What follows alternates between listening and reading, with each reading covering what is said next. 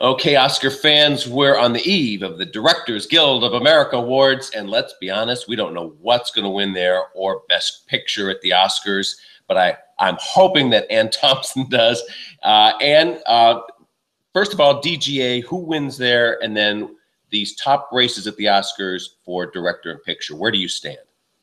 I'm clearer on who's going to win the directors at the Oscars, George Miller of Mad Max, than I am at the DGA. I'm assuming it's going to be both because it usually is both. Not always, yeah. but usually. Um, and I think that that the wide range of guild awards that have gone in the direction of Mad Max, you know, the incredible love that's being shown throughout the crafts is going to result. This is the big scale movie like Life of Pi or or like gravity. you know gravity exactly where the filmmaker who made that world come to life is going to be rewarded. And that was especially true in the case of mad max where every detail came out of his imagination and he made it real. And i think the directors are going to recognize that. Now sometimes or actually most times that is true but sometimes we have the year like hugo which sweeps the tech awards and then marty scorsese doesn't win best director right? He happened to have won recently and I also don't think that that movie was a real best picture contender that everybody loved. I really don't. Okay, that's, um, a, that's a good distinction know, to make. Whereas I think I think I don't think Mad Max is going to win best picture. I think it's going to win direct. It's going to win a lot of Oscars. A lot. Yeah. Oh, absolutely. It's going to sweep those tech categories. Yeah. I so, agree. So that's my sense. That is my sense. I really don't think it's going to be The Big Short or or Spotlight. These movies are too small. They're just not. You know, even even though we thought that The Big Short might be surging and it may have some support. Uh, the fact that it didn't win the, the SAG Ensemble Award suggests it's not all in the bag. Pete Hammond told me yesterday that he discovered that at PGA, four films came very, very close to winning, and Big Short only won by three votes. Isn't that fascinating? Well, that's good intel. Yeah. But I wonder how reliable all, it is. Well, but what's also great is that it's not three films that came in uh, very close near the top. It's four, which suggests that Mad Max was the fourth, and of course, Spotlight, uh, Big Short, and uh, Revenant would we assume would be the others, right?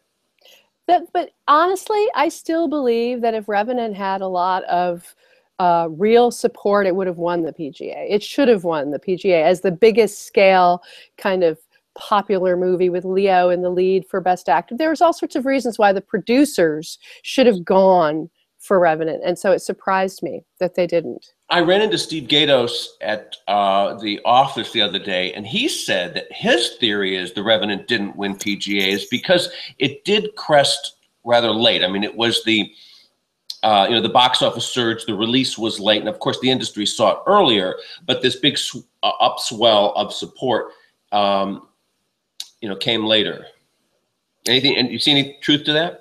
That's possible. I actually recognize that that Spotlight was surging at the point that the SAG uh, voters were voting, and and these other uh, awards have come come a little later in the voting process. So these guilds are the last of the of the they they would pick up the the box office surge. But I think you're right. I think it's a close race between between those among those four films. I think yeah. it makes it an interesting race this year. Nobody knows. I, nobody I, I go with the spotlight idea that it is the most serious, that it has the most gravitas, that it's the most important, if you like. And of course, Michael Keaton's speech at the SAG Awards, you know, absolutely reveals that. But um, and it was it was a smart speech. On the other hand, how many people watch the SAG Awards? Yeah, so. Oh, I know, I know, and of course it was shut out at the Golden Globes. Uh, Spotlight was. It's not nominated for director at BAFTA. BAFTA's been right about Best Picture six of the last seven years. It was wrong last year because it went with Boyhood, but in general. Uh, be, ever since they moved the date and changed the voting process at BAFTA to uh, be in step with the Oscars, it's been a very fairly reliable uh, set of tea leaves in some races anyway. So if we look to there, and these are the kind of foreshadowings we like to see, Spotlight's not nominated for Best Director, and that's that's another example of everything's out of whack this year, isn't it, Anne? I mean, uh, the tea leaves we normally rely on aren't being consistent. I would say that Spotlight is an anomaly in the sense that it's this really small movie. We know it's going to win Best Screenplay. That much we can we can assume. But it, it's it's a Talking Heads movie. It just is, and and so it has it, it lacks that that scope that you would like to see in most Oscar contenders. And I think we just have to keep that in consideration. You know, the why would the producers vote for Spotlight? Why would the editors vote for Spotlight? It's just not that big a movie, but there's still reasons why the entire Academy Would vote for it. There's that mysterious linkage between the uh, editing award and Best Picture. And if we invoke that this year and look back at what we just learned at the Ace Eddie Awards, in two thirds of the cases, the eventual Best Picture winner at the Oscars wins an Ace Eddie. And this year, those winners were Big Short and Mad Max. You um, still have different categories though, so it's sort of you know it's sort of hard yeah. to tell. Like if you look at the art directors, what can we learn from the art directors? There's period, there's contemporary, there's fan. We don't what, what you know? What do we know? Any we know nothing. Half of the time in recent modern history, the movie with the most nominations has won Best Picture. This year, of course, it's Revenant. It's outperformed. And Tom Hardy was in there. It was nominated for costume. We Oscarologists didn't see all of the support coming. It's not nominated for screenplay. I mean, it's it's it's which is uh, a, a telling thing. It is a telling thing, which, of course, because because it has no dialogue. I know, and and, and actually, you were the one. Mad Max. Neither is Mad Max, right? Right, right, right. And and it was you who pointed that out to me, and I went, ah, of course, that that that explains all that. But isn't it often the case at the Oscars and where the voters confuse big picture with best picture. And if that's the case if they go for the big epic if they go for the big screen movie it's revenant or mad max right? Yeah but i i i, I again revenant won i mean in other words Inarritu won last year. You know he, he won for birdman. And it's just not going to ha- i just don't see him winning his best picture two years in a row. I just don't see it. And i don't and, and again the pga should have given it the win for that to happen. And i also think that um, the one thing that the Revenant will win is Leo. Leo is that's their win. That's yeah, it's, he, cinematography he, probably, right? Yeah, yeah, yeah. It's sort of like Lincoln. You know, it was Daniel Day Lewis that made that movie the big thing that you know, and and they're going to get Lubezki for sure. I, I I don't see it not going to Lubezki, but but in the case of of uh, uh I don't think Mad Max is going to win Best Picture because it's um well, first of all, those two are going to cannibalize each other in some ways because they're more or less the same. And that's the same is also true of Spotlight and The Big Short. They're Absolutely. all going after the same, uh, you know, constituencies. Um, but I don't think Mad, but Mad Max is a genre movie, and there's nothing we can do about that. It's just they just don't tend to do that. Right, right, right. But back to Revenant for a second. Um, I'm not. It's not my prediction to win Best Picture, but I think it's more in the hunt than we give it credit for because um, I don't think it's a good enough argument. And Pete Hammond said this to me the same thing yesterday. I just don't feel it that they're going to go to Inarritu twice, and I don't think that's a valid uh, assumption because I love to invoke Sally Field here that when they like you, they really, really like you, and that there is a in general a honeymoon period at the Oscars where Clint Eastwood can win twice, where Oliver Stone can win twice on the director's side, Ang Lee, etc. Now they weren't consecutive year after year. This, not two years in a row. I know, but still, I'm not so sure that really matters. Uh, because we do see consecutive wins on the acting side, whether it's Jason Robards or Tom Hanks. It doesn't happen often, but I'm saying that Inarritu is in that um, honeymoon period now, and that's why I think he's going to win at DGA. I think it is uh, the uh, to Steve Gaydos' point now, now I think The Revenant has sunk in. It's the big movie, it's the epic movie, and it's got that classy component of Leo. And if you look forward to BAFTA, there's an IOU to Inarritu there. They didn't give him the uh, the directing award last year, so I think that uh, I think there are some things that are still strong for that movie that we need to keep into account. It's fun this year. There's a there's a close race, and it could go any number of different ways. But the bells are not ringing on the Revenant side uh, so far. Not really. Not not judging well, from the recent Guild Awards. That's true. That's a good point. And it's also it's a hard movie to love and to cheer for because it's it's, it's grueling and the rest of it, the whole storyline and the execution of it. That's what makes it a powerful film. And Oscar movies are often about redemption, about hugs, about emotion. And uh, agreed, uh, and that's why Spotlight, Spotlight is the is the one. But Spotlight has the ick factor, though, Anne. I mean, it's, it's ick? Child, what ick? It's about child molestation. but people get very angry about it. it, it look, the, to the extent that Spotlight and Big Short are the same thing, they're they're they're really about exposing what really happened that had a huge impact on our culture, that that was outrageous, the powerful preying on the weak, all kinds of reasons why both of those films are taken seriously. Spotlight is it is truly it taps into a, a, a, a, they both tap into a sense of outrage, but but Spotlight is is is particularly egregious. I just believe that that that it makes people more even more angry and more upset. You and I know that you generally need support across the Academy to win Best Picture. Spotlight only has five nominations. Big, Big Short only has six. You've got to go back to Crash and to The Departed to find movies, which was almost a decade ago, to find movies that prevail as Best Picture. And in both of those cases, where those movies had, uh, in the case of Departed, only five, of Crash, six, there were other reasons those movies won. In the case of Departed, of course, there was an, uh, a desire to catch up with, with Marty. In the case of yeah. Crash, there was an anti Brokeback thing going on.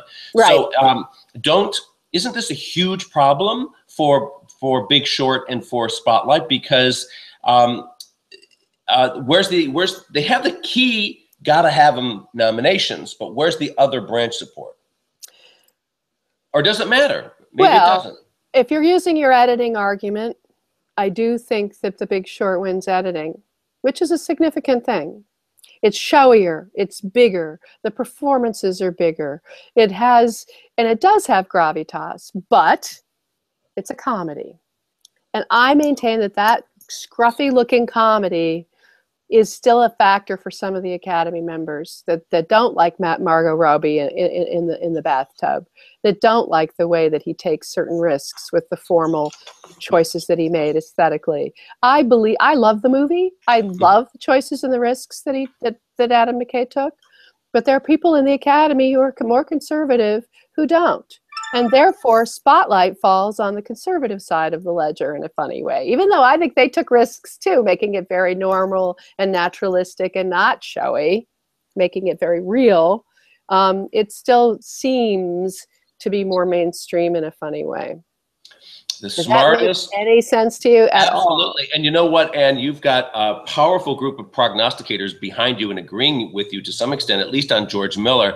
The people with the best scores at Gold Derby in terms of actual percentage of accuracy are our top 24. You know, we have that special league of the people who performed best last year advance forward to compete against us experts. And if you look forward to their to their predictions this weekend for DGA, 12 out of those 24 say George Miller. Only seven say Inarritu, three say Ridley Scott, two say McKay, and zero for poor McCarthy.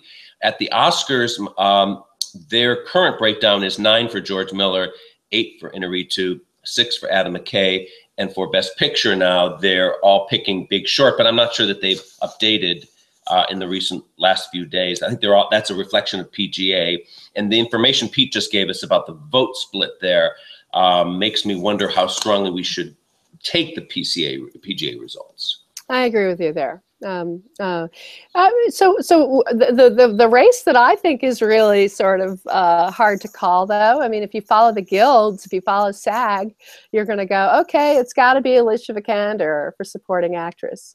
That is a very, very, very contentious category. I agree with you. I think it's the hardest to call of all the races, literally. But I think that her chief competitor is Kate Winslet, and you think it's Rooney Mara. Uh, you give me your Rooney theory first. My Rooney theory is based on the fact that I think they really well. Also, what's weird about this category is that a lot of the, the people nominated are not in a Best Picture contender. In other words, Carol and Danish Girl and Steve Jobs didn't wind up in 45 years obviously nowhere we're in the supporting category they're not in best they're not in the best uh, picture race and neither is is hateful eight. So uh, i think that you, you can't use that as a crutch. You can't say the most popular movie is this movie. But i do believe that carol which did get a lot of nominations in the end six i believe um, did it, i think it is popular. It maybe didn't make it to best picture but i believe that rooney mara is also popular and i believe that sometimes in that category they go with the young ingenue with class and you could argue that Alicia Vikander is also the young ingenue with class, but she's the outsider. ingenue. And I think Rooney Mara is the insider. But I think it's a very close race. I think it's a very close race, and I could see Rooney winning, I, and I buy your argument for that. I'm just also the two of them are both lead actresses in, a, in yes. this race, yes. so that gives them an advantage over the smaller parts played by the supporting actresses. I think Kate Winslet's still in the hunt here. I think that uh, she is, of course, the lead the lead actress in that movie, and she also gives this really impactful performance. And she has the whole transformation of a famous they person. love that. They do love They that. do, yeah. They She's love got all that accents and they love they love the degree of difficulty of the dialogue and all of that. They love her. She's won though, you know. Yeah, she's won, but- before. But uh, Ingrid Bergman, Jack Nicholson, people like that win in supporting after having won in lead. It does happen. She's also classy. She's super classy. And and and and and then of course Jennifer Jason Lee is making this big comeback and she's been around for a long time. She's been nominated before but has never won. This is exciting for her.